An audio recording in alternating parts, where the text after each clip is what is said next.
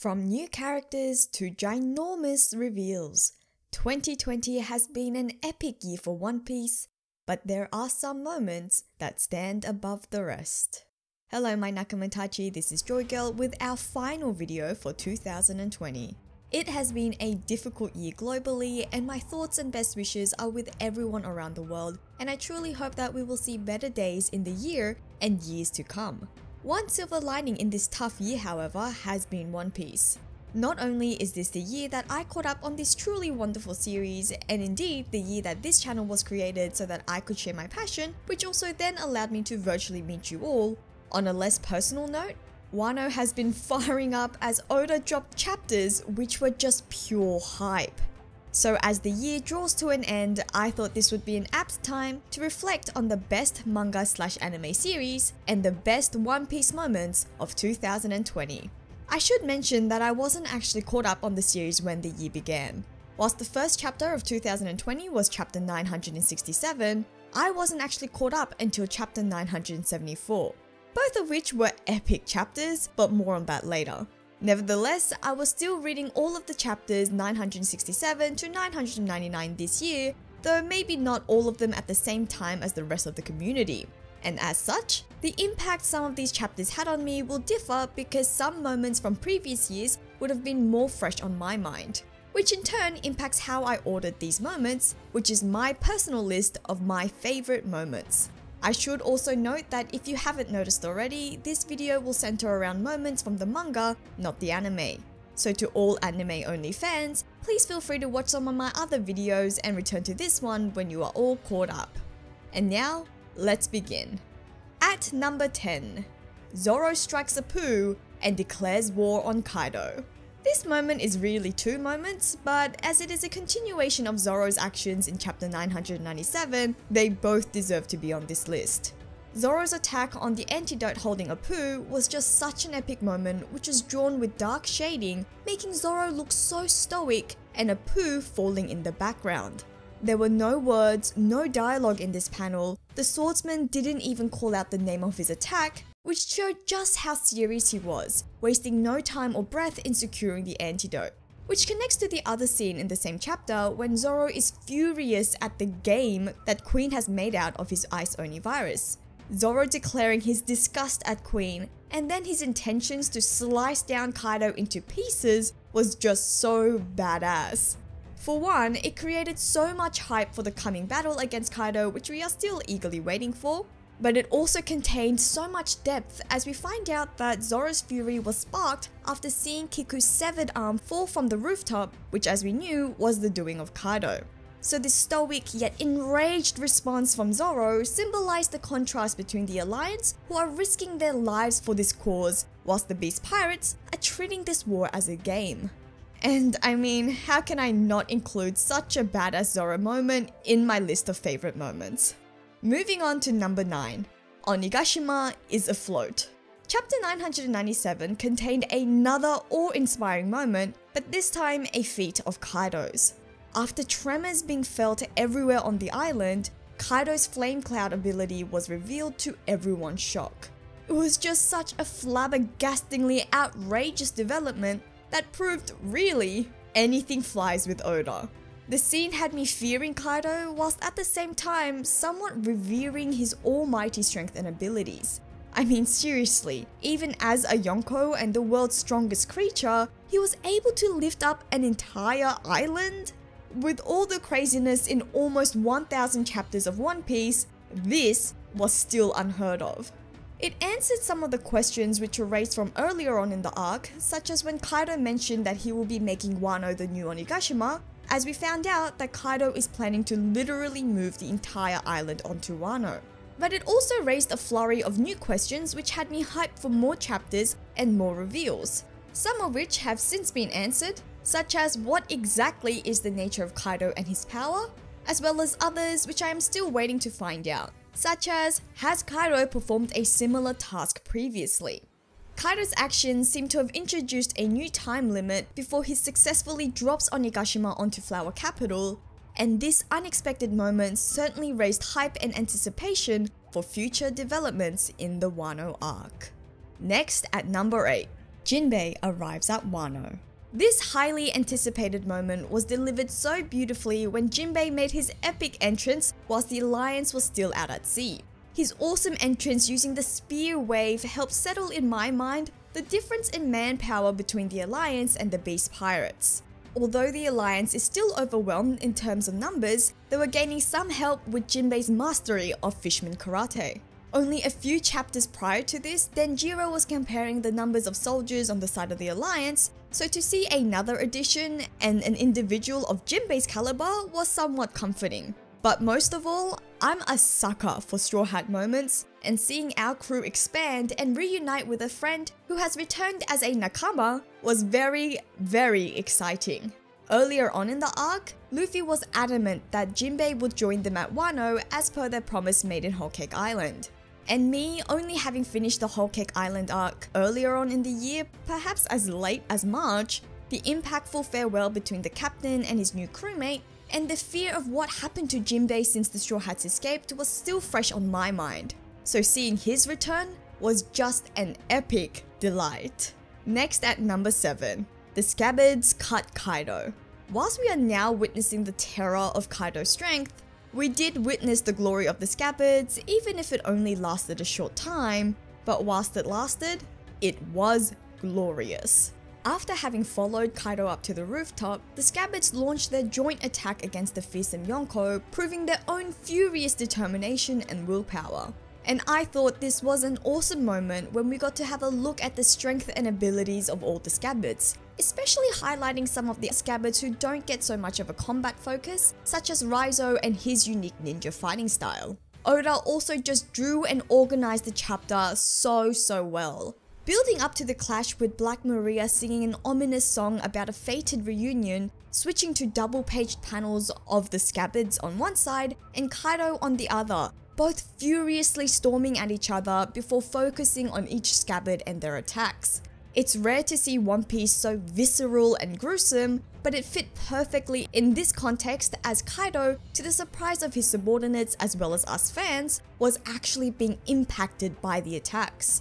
The chapter was also just very heavily laden with reminders of Oden. It showed not only the impact Oden had on the Scabbards who adored their leader, to the point that they were able to emulate his attack without even learning from him directly, but also the impact Oden had on Kaido as the Yonko, still traumatized by the man who managed to cut him, arguably only suffered so much damage from the scabbards due to them reminding him of Oden. Seriously, this is not only a great moment, but a great chapter. The chapter as a whole was orchestrated perfectly and is actually one of my favorites in this series so far which built up the Scabbards because after all, Wano is largely about the struggle of the Scabbards who have waited 20 years to avenge their leader. And on a similar note, at number 6, we have Tsunachi. The formal start to the war at Onigashima opening with the Scabbards' joint attack on Kaido was fitting. In fact, Luffy himself refused to open the battle earlier on in the chapter, building us up for that final panel when all the scabbards rushed in to pierce Kaido. And I just loved this attack because it was so emotionally cathartic in many ways. Which is partly why I do separate this moment from the one before, which also featured the scabbards attacking Kaido. The previous one felt to me to be more of a highlight of the Scabbard's abilities, which admittedly sprung from their determination and emotions, but this moment has so many layers to it that I think it warrants its own spot. Very recently, prior to the Tsunachi moment, the Scabbards mourned the death of Kanjuro, whom despite being a traitor, they loved for many years as a comrade.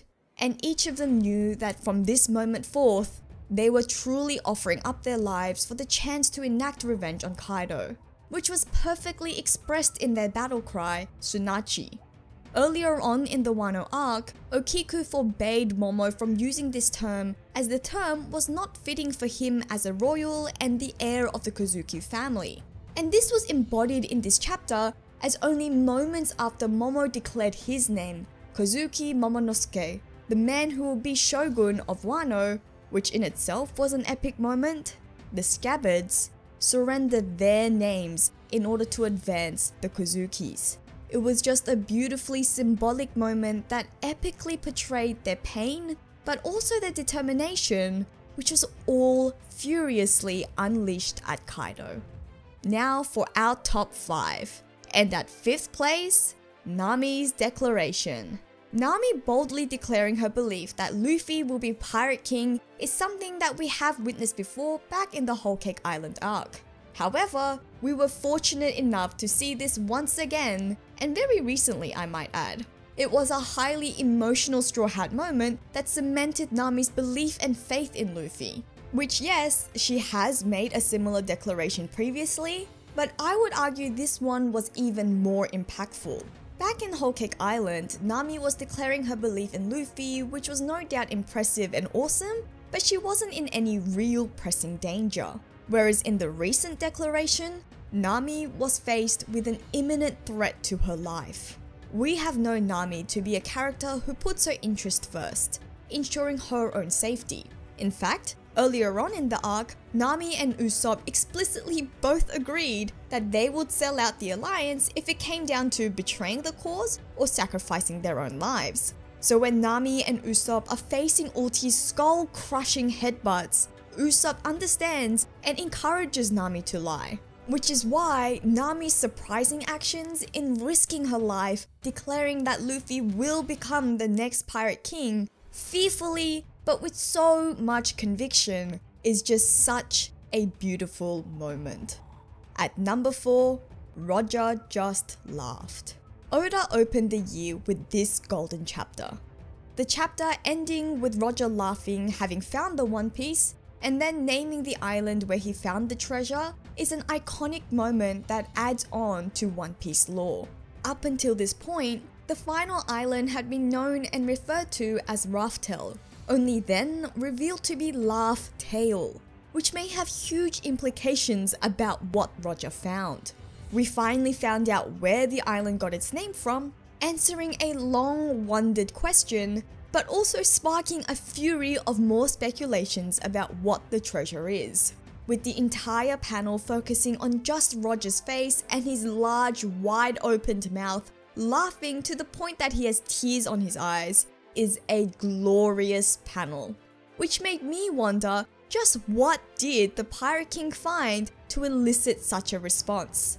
If I was curious as to what the One Piece was before this chapter, this moment made me question the identity of the treasure even more. It was not only a fantastic way to start the year 2020, but also a very significant moment for the series. And edging towards the end of our list at number 3, Oden's execution.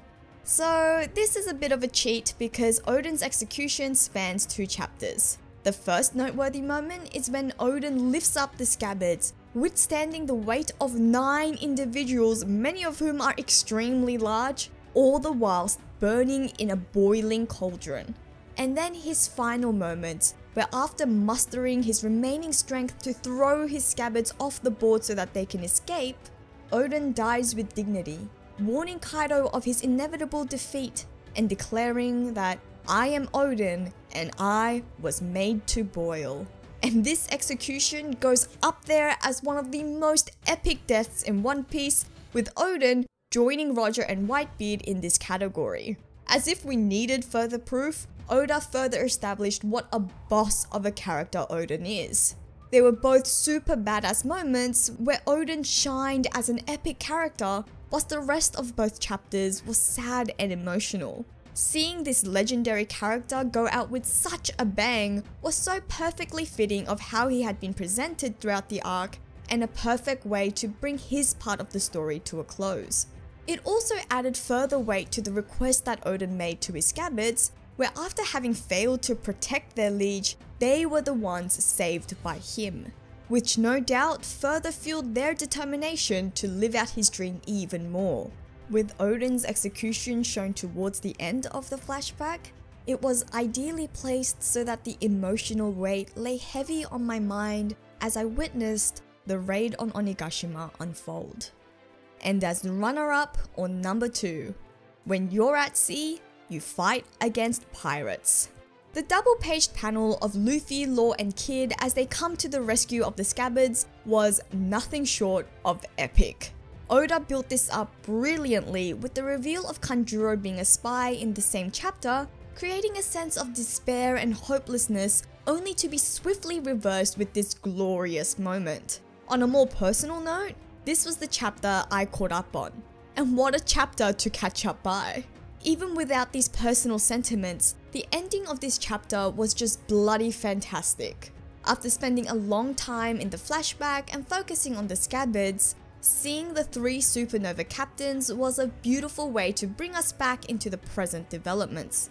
In particular, all three captains wearing their captain capes was so much hype. This is probably my favorite outfit for Luffy, and I can't wait to get my hands on a Luffy figurine wearing this cape. Law 2 was very reminiscent of Corazon, which was a nice touch.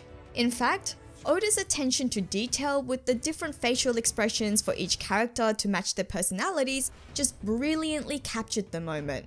It really raised the hype for the battle on Onigashima, and for me, it was a crazy way to leave me overwhelmed with the exciting, yet simultaneously frustrating reality of having no more One Piece to binge. And now, before we reveal my number one favorite, some honorable mentions because choosing only 10 moments for this year was a really difficult task. 2020 was truly a fantastic year for One Piece, so here are some other noteworthy moments in no particular order. Franky running over Big Mom with his black Rhino motorcycle, as well as his declaration that he will make Luffy the next Pirate King. The introduction to Yamato, and the introduction to the Tobiroppo. The mass Mink Sulong transformation, Raid Suit Sanji saving Momonosuke, and Kaido's brutal counterattack on the Scabbards. And these are really just a few. But now for number one my favorite moment of One Piece in 2020 Straw Hats Assemble. So, this being placed in first place may or may not come as a surprise to you. But I am a Straw Hat stan after all, and so this was just a mind-blowingly epic moment. With Jinbei's arrival at Wano and the fact that the whole crew had finally reunited after their separation in Dressrosa, I was expecting a panel of all the Straw Hats together in battle, but I wasn't expecting it to happen so soon. This was the first time that they were all featured together in battle formation on one panel since Fishman Island, although admittedly even that wasn't a pure Straw Hat lineup because non-members such as Shirahoshi and at that time Jinbei were included there. Nevertheless, considering I thought this was ages, having only finished the Fishman arc in January, I can only imagine how long it must have felt for the rest of the community. With the chapter aptly named I Can't Imagine Losing, with this double paged panel of the Straw Hats all assembled, I understood exactly what the title meant. Because seeing the Straw Hats in this formation looking so determined and ready for battle, I got the feeling that in one way or another, they're gonna come out on top. With everything going on at Wano, with so many important individuals and storylines at play, having this focus on the Straw Hats was well placed. For me, as much as I truly enjoy all the beautifully diverse characters that One Piece has to offer, nothing beats seeing the Straw Hats all together in their full glory. And this was also the first time that I got to experience a full Straw Hat spread at the same time as everyone else. I always look forward to seeing the Straw Hats in action, and this was a perfect way to anchor the crew's involvement in the arc amidst everything else going on. And as we continue to progress deeper into the Onigashima battle, I'm still looking out for the Straw Hats and how they fit into the war. All in all, One Piece delivered me so much joy and excitement this year, and I can truly say catching up on the series and then starting this channel to discuss One Piece with you all has been one of the best things about 2020. So I want to thank you all from the bottom of my heart for all of your support and engagement over the past year because I have really appreciated it. And on that note, this brings us to the end of the video. I wish you all a very, very happy new year and am keen for more One Piece goodness in 2021. This is Joy Girl, and I'll see you again in the new year.